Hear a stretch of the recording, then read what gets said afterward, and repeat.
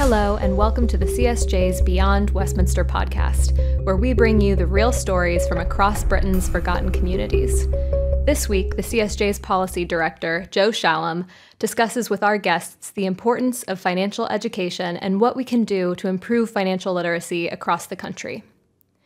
On today's podcast, we're delighted to have Robert Halfon, Conservative MP for Harlow and the chair of the Education Select Committee, John Pears, CEO of debt management firm Lowell, Steve Korris, delivery director at MyBnk, a financial education charity, and me, Carolyn Griffith, the author of the CSJ's latest report on this subject called On the Money A Roadmap for Lifelong Financial Learning.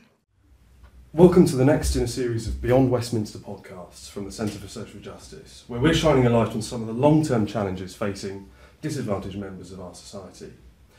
Today we'll be talking about something us Brits famously don't like talking about all too much that's money.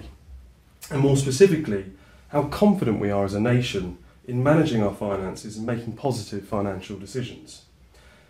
But let's be clear we know that in the midst of a cost of living crisis, many people simply need more support and financial assistance, and the CSJ has been arguing strongly for uh, increased help for families throughout this very turbulent time.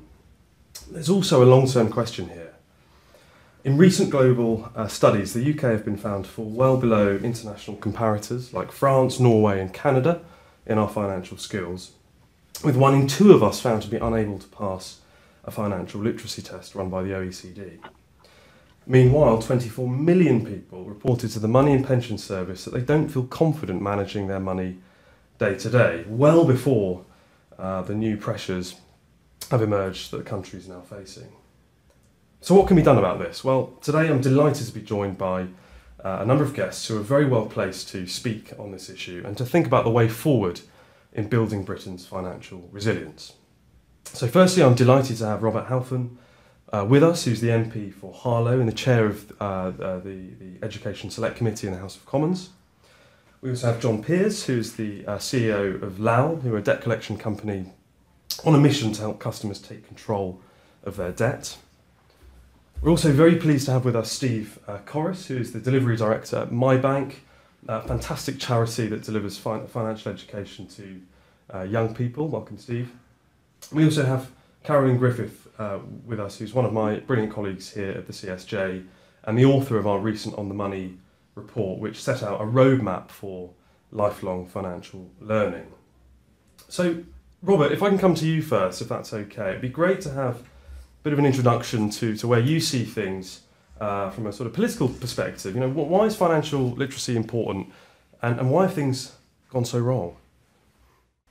I think there's two things I'd like to start off with, if I may. And the first is that uh, the question of financial education in schools raises a much wider issue in terms of what we actually teach our our children. We have a very much knowledge based uh, curriculum, when actually what we need is a knowledge and skills based curriculum. I mean, much of the focus is often is uh, teaching. I use this analogy: teaching children uh, the names of fish, but actually we need to teach children how to fish as well. And I think that this lack of financial education in our schools uh, points to a much wider problem, um, to the fact that we're not teaching our our children, pupils, students uh, wider skills, whether it's financial skills, whether it's more vocational education, whether it's oracy, um, uh, whether it is more critical thinking. Um, and so uh, I think this raises a wider uh, subject in itself. And I think until we change that, um, we're not going to do what we want to do about financial education. Going to the second point, why is financial education so important? Well, you've touched on this in your introduction. I mean, it is genuinely extraordinary that half of British people face failed a financial literacy test run by the OECD a few years ago. So we're, as you said, we're below. I think you said France, Norway, and Austria, just above Albania in the global rankings. You know, we're supposed to be the fifth largest economy in the world. You know, 24 million adults uh, say that they're not confident handling their money day to day we've got all these awful financial things going on in the markets. And I guess that all of us, even on this call, on this podcast, and many members of the public are unclear exactly what is going on. I mean, we've had different explanations of what gilts are, for example, over the past uh, few days. What does this mean? What does this mean to our economy? What does this mean for our mortgages? Um, and um, we have very, very low financial literacy. And, and what that means is that we are, uh, in essence, um, not only uh, we've got a nation of 9 million adults who have poor literacy and numeracy skills. We've got millions of adults who have low financial skills, which means that they are less well able to budget in the way that they might help them in terms of their daily finances. They're less well prepared when they need to take out uh, loans or uh, look at even buying their first their first home, and that can have a huge impact, not just in terms of poverty, financial poverty, but also uh, all walks of people and all uh, on in all walks of of life. And I, I liken it a little bit also to a car, you know, those people who rely on their car mechanics or their builders to be honest and straightforward. Of course, most of them are, but most many people don't have an idea of what's going on underneath the bonnet of their car, and it's totally dependent on the car mechanic, and that is not a good place. Not a good place to to be. And if we don't understand the finances, we're totally dependent on the advice or the people that we are uh, talking to. And that means there is a uh, uh, an opening for uh, loan sharks, um, for example, who can uh, bamboozle us with the high interest rates, but paying back over many, many years. It means that when we see these so called Klarna adverts on all the products we almost all the products we buy uh, nowadays we're lulled into a sense of false uh, security. So this affects us in all walks of life, and it's particularly relevant because of the the cost of the cost of living. So if I was looking at the curriculum, not only would I say skills have to be a central part of our curriculum all the way through from primary school onwards, but absolutely financial skills need to be a central part of that.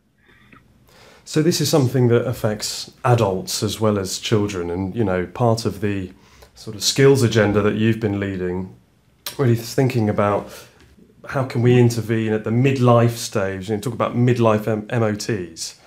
Um, so, what do you think are the interventions that are needed to boost financial education at the school age, but also then at the adult age and into older life as well? Well, it needs to be um, first of all, as I said, we need to have a much wider look about how we have skills in our curriculum. It needs to be embedded right through to uh, from primary school. So financial education should be on the national curriculum for primary schools, and you've said that I think in your in your report, and, and it needs to be across uh, secondary schools um, as well because um, I think it should be a core part of the curriculum. I think that it shouldn't just be a separate part, but when children are or pupils are learning mathematics, for example, financial education should be a central part of that. I'd much prefer personally that children learnt uh, financial education during maths uh, than than just trigonometry, for example, which has limited uses unless you have want a particular role uh, which needs trigonometry in a later life. You are everybody is going to need some kind of financial uh, education. I also think, and again, you proposed that uh, something similar to the Baker Clause, and I'm passionate about careers, and nothing changes unless you uh, change careers. And I've learned that with and trying to encourage young people to do apprenticeships as well. And we should have financial organizations that regularly come into schools to teach children and pupils about finance. They should be visits to banks and other financial institutions where students can do work experience and learn about money uh, as well. Uh, there should be, uh, you know, the Martin Lewis type. Um, uh, my dream would be a kind of Martin Lewis for young people. Um, almost on the BBC Bitesize or on on television that um, they would be that uh, students could learn from watching these kind of videos uh, and learning about financial. I mean, I learn a lot by watching Martin Lewis on Good Morning Britain, for example, uh, and they regularly have a cost of living session uh, nowadays. Many of my constituents in Harlow watch Good Morning Britain. It's invaluable, and there should be the equivalent of that for uh, for uh, young people. And I think someone like Martin Lewis or someone that could relate to younger people, I think would be would be invaluable. But there also needs to be help for the families because um, if we don't encourage the families to many families also face uh, financial difficulties and um, don't have the knowledge that they might have in other areas. And so they need support and teaching so they can then pass that knowledge on to their onto their children. And I, would like to you know you have m- many families reading books their kids uh, every night and often there are stories or examples of things that go on in life. I'd like to see a lot of these kind of books have some kind of financial examples in them as well. So all the time we're teaching, teaching, teaching uh, children about um, uh, finances, and this isn't about turning every child into a banker. And I realise that this is bankers are not the most popular people at, the, at this point in time what this is uh, doing is teaching a child to know, or a, a, young person to learn how to budget, to learn what financial figures mean, to learn that nationally, if there is a crash in the markets, as we're witnessing as we speak, um, then there will be some, they will understand it, um, know what it means, but also know how it impacts them on their day to day lives. Thanks, Robert. Brilliant, brilliant answers. Martin Lewis for young people, that's a, that's a policy recommendation we, we should have made, perhaps, Carolyn. Um, but, John, I'm going to turn to you now if I can. It'd be great to hear just from your perspectives a little bit about Lowell, what you do, and, and how you have sort of come across the need for better financial education uh, in, in the UK. Thanks, Joe. Well, uh, Lowell recovers debts across uh, the UK. We've got over 9 million customers, and that's covering debts all across the spectrum from utility to telephone companies, uh, banking, financial services, and home shopping. So there's a real broad sector of, um, of debt that we actually cover with our customers.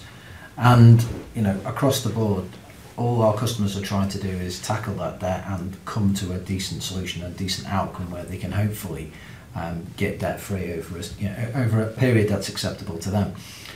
And I think what we see, you know, firstly when we're dealing uh, with our customers at the moment is a real feeling that as we're going through their affordability as an example, we're going into a lot of detail around what's your income, what's your level of expenditure, what's the, you know, the, what's the level of repayments that you can, we can come to uh, to make sure that they're sustainable. And going through that process very, very much highlights um, quite a lot of our customers haven't haven't quite got the detailed grasp of how their budgets are operating in order to make the most effective decision on what the best outcome is for them.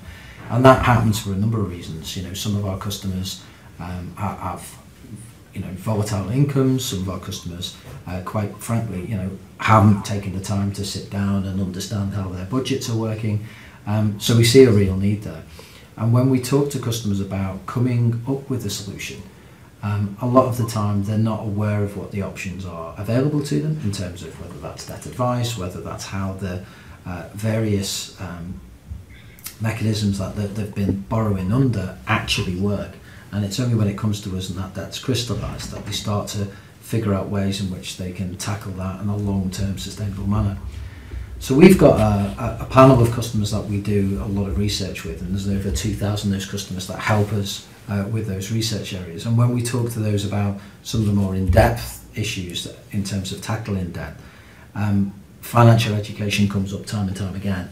And that's in terms of they, they're wishing that they'd understood um, a lot of the mechanisms that they've been borrowing under of how it worked, how interest works, how APRs work. I didn't understand that I had to make the payments every single month and what would happen if I missed the payment and whether or not cumulative missed payments um, incurred fees. Uh, and there's a lot of areas there where customers are expected to understand quite complex financial instruments. And as you'll know in society now, more and more complex ways to borrow and more diverse ways to borrow are always being introduced. You know, if you go online now, there's you know there's a myriad of ways in which you can finance transactions. If you want to buy a T-shirt, all the way through to you know different mechanisms to lease or buy a car. And what customers are saying is it, a lot of the times there isn't a full understanding of that. So I think there's a preventative aspect here that a lot of our customers on the panel tell us if they would have been more aware and they'd had better levels of financial education when they actually took out the debt in the first place, there'd be a much better understanding of how to have dealt with it and whether or not that debt was sustainable um, at that time. Because I've been sort of looking at you know some of the insights from your consumer panel and some of the things that you sort of hear typically, and what struck me was often the sort of not necessarily the the gap in the understanding around types of product, although that certainly came through, but also the sort of emotions around money and understanding when you're getting out of control and when a situation is moving too quickly and, and knowing how to process that. I mean, is that something that, that you hit? Clearly, people come to you in a position of quite serious upset. Yeah. Is that something that you, you hear, that frustration about, oh, I wish I'd known like how to handle this? Yeah, I, I, I think an aspect of financial education that comes up amongst our customers time and time again is the fact that the, there is obviously a broader stigma around debt in the first place. So if, if they've not had a level of financial education in the past and that understanding of just what happens when you start to struggle with money, when your budgets aren't adding up, when you know you start to fall behind with payments, that really really impacts um, customers and it also impacts their ability to actually deal with it. And I think that's the second um, side of, if you like, the capacity um, when, when it comes down to dealing with financial difficulty is that if you're not aware of what the options are available to you, whether that's debt advice through to being able to, you know, contact your creditor and, and come up with a, uh, something that's suitable in terms of an arrangement, what can happen quite often is people will, you know, literally bury their head and they will wait. They'll wait until the situation has escalated to the point in which, you know, the, the debt might have defaulted. There might be county court judgments involved, and a lot of our consumer panel say if they'd had just a better awareness of how it works, if they'd had a better awareness of the options available to them, they would have been more equipped to deal with the issue at the time and they wouldn't have got to a situation where that debt um, uh, problem has escalated and they've ended up having to you know deal with a much more serious um, situation you know a year or two years down the line.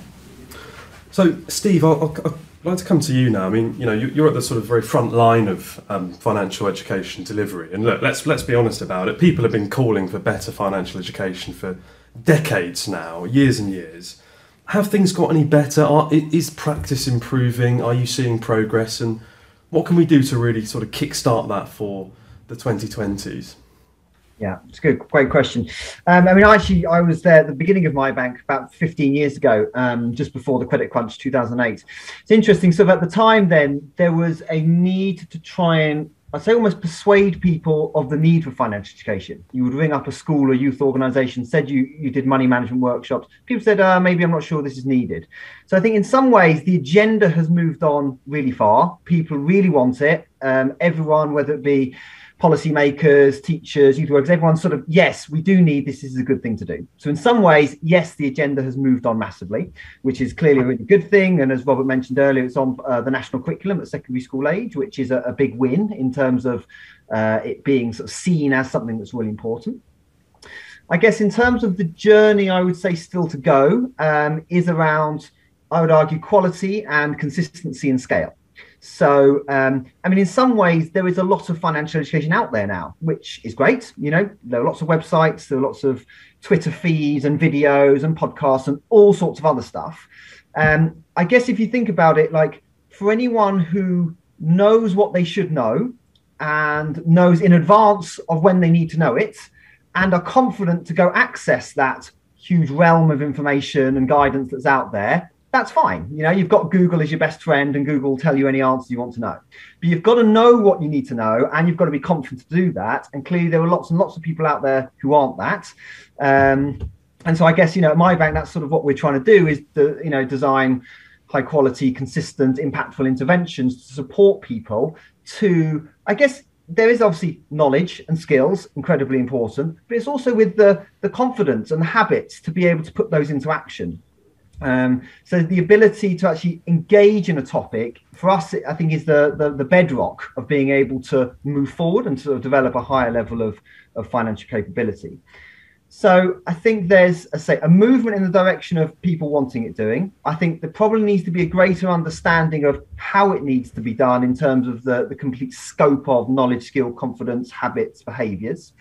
And I think probably then there's some wider questions that you know both society, politics, youth workers, charities, everyone needs to answer, which is around I guess how it can be done in terms of practicalities.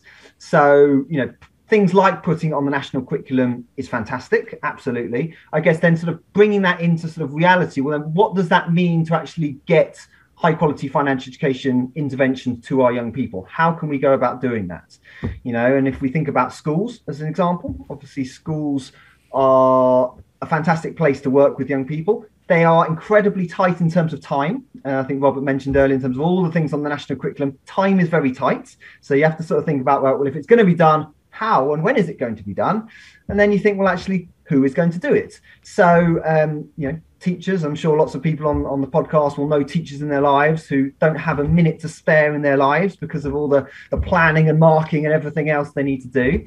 Um, you know, do we want to try and you know up upskill our sort of teacher community to know quite some sort of relatively complex bits of knowledge and perishable bits of information and keep people updated and how to do it?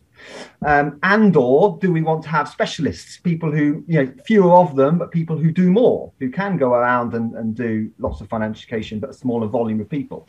Um, and it's probably likely to be a combination of both, but it's trying to think through how it gets done, who's financing it, um, there's sort of generally quite a lot of, yeah, there is money available for financial education within central government funds, local government funds. Very little of it is ring fenced. So I guess it's how do we sort of pull those sort of pieces together?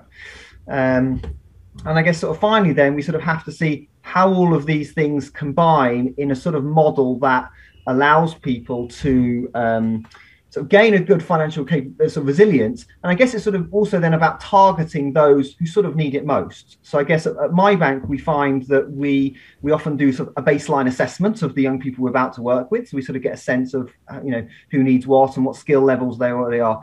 We find quite a lot of young people in a mainstream school setting need a little bit of help. You know, they need to learn some new bits of knowledge about AERs and APRs and how bank accounts work and these sorts of things. But there's also a proportion of, of young people who need quite a deeper set of interventions.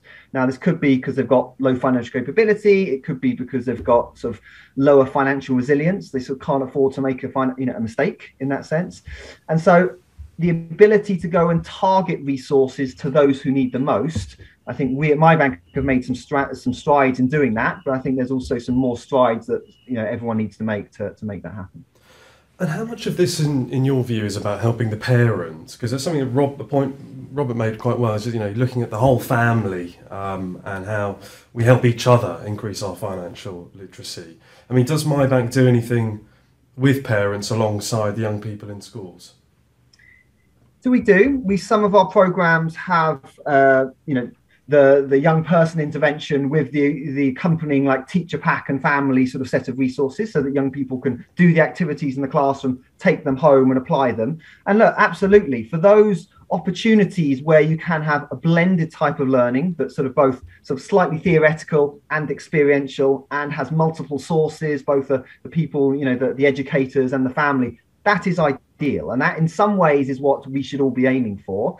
I guess this is where you know, but partly financial education, but partly as society as a whole, we, we have to consider the practicalities of trying to make this ideal happen. So I, um, you know, 100% would agree. I think we should be getting more families and parents to interact with their children about money that's a hard job and i think we should we should go for it and we should as a community we should try and make that happen but we also have to appreciate that's a very difficult job to get this uh, perfect scenario there so any sort of work that we can do both with parents and with young people directly i think we we have to go for so I'm going to bring Carolyn into the discussion now. Steve's mentioned something there called experiential learning and theoretic, theoretical sort of um, learning. I know this is something you looked at in a lot of detail in your research around financial education. What I mean, what's going on there, and what works? Mm. Um, well, we were very fortunate to work with both MyBnk and Lowell actually, and see some fantastic um, expressions of how experiential learning can work really well. Um, we uh, saw it on the ground in Blackpool. Uh, we went up to uh, the north of England to observe a charity called Boathouse Youth, and we targeted this area in particular because there's particularly high financial vulnerability um, in, in that area. Um, and so we went into this, this place and we saw kind of uh, the challenges that these young people were dealing with, what they were facing in the day their day to day lives, the impact of low financial capability, uh, and then we saw this um, youth charity uh, intervene and and um, deliver financial education in a way where kids got to uh, practice using money. So they got to do um, several different uh, activities where they actually got to spend money in a real way, where they had to plan, where they had to budget um, and replicate um, what they might experience in their real lives. Um, and this had kind of profound impacts on them. These were teenage kids who should have received financial education at that point in schools. Um, but, kind of as we found in the report, our financial education uh, offer is currently insufficient. Um, and so this was uh, kind of an outside organization coming in, delivering experiential fin- financial education that was really transformative um, and, and helped them um, to kind of learn how to use money practically. Um, we also observed MyBnk, who was practically going into schools and helping kids to use money uh, on a day to day basis. And um, MyBnk has seen kind of incredible improvements in terms of young people's financial capability as a result of that. Um, we also saw some interventions um, that supported young adults. Um, so, as part of kind of housing uh, tenancy resiliency programs, uh, kids were being supported to learn how to manage their money once they had a, uh, a job and a tenancy. Um, and they learned how to pay their bills, how to manage uh, budgets day to day, so that they could cover food, their energy bills, um, and things like that. And and um, loss of tenancy was reduced by up to 80%. So we've seen experiential learning has kind of profound impacts in terms of um, people be, people's financial capability increasing in a major, major way. That's really helpful. Thank you on that, Caroline. And you know the the point you made earlier, Robert, about how we actually kind of get this put in place in a more structured way in schools, so that that kind of experiential learning is baked in alongside the uh, the very important knowledge as- aspect to this. I mean, Robert, what, what's your sense of the appetite? Obviously, got a very new government at the moment. They're still sort of getting their feet under the desk and interested to hear more about their kind of plans for education policy. But what is your sense of the appetite um, among uh, senior policymakers, both on the Labour and Conservative side, for sort of re- new reforms here? Because it feels like the last big change was in 2014 with financial uh, education going on the national curriculum. But are you sensing a bit more interest in this space now from from policymakers, or is there more work for organisations like the CSJ to do in getting it on the map? I think there's a very interesting debate going on about skills and vocational and technical education at the moment in a way that uh, in my time in Parliament, I got elected in 2010, that hasn't happened. And you've got people from Tony Blair on the centre left to uh, David Davis, MP, who's regarded as sort of uh, centre right, talking about the need for more skills in our curriculum and having a much wider uh, curriculum, particularly post 16, and have, possibly moving to a, a British baccalaureate um, system instead of A levels, which would hopefully include uh, things like financial um, education as a core component of it. So I was excited about the debate. You've also got the Times Commission that has recommended something similar. Um, there are other commissions that have come out. There's a lot of talk in a way.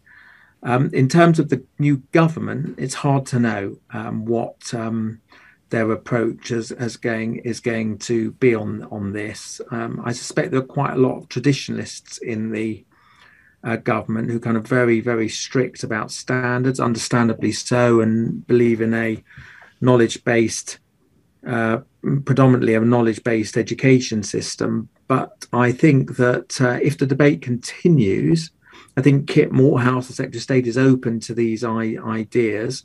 There'll be, uh, I'm about, as we do this podcast, I'm about to go to the Conservative Party conference and significant number of fringe meetings on these areas that are going on in a way that they might not have happened in the in the in the past. I think if the debate continues to happen, if the CSJ and the organisations here today continue to push for these things, it may be um, that we are knocking not necessarily on an open door, but a door that is slightly slightly ajar. But uh, I've always believed that um, campaigning for things is a bit like a pizza delivery leaflet. You get a million uh, leaflets through the house over the year not quite a million uh, my financial literacy is showing but you get a fair few over the year and it's only one time you might pick it up after a rainy day or you haven't got any food or you just feel like a pizza and politics is a bit like that. It requires endless repetition. Um, and I think this has got to be a serious campaign by the CSJ,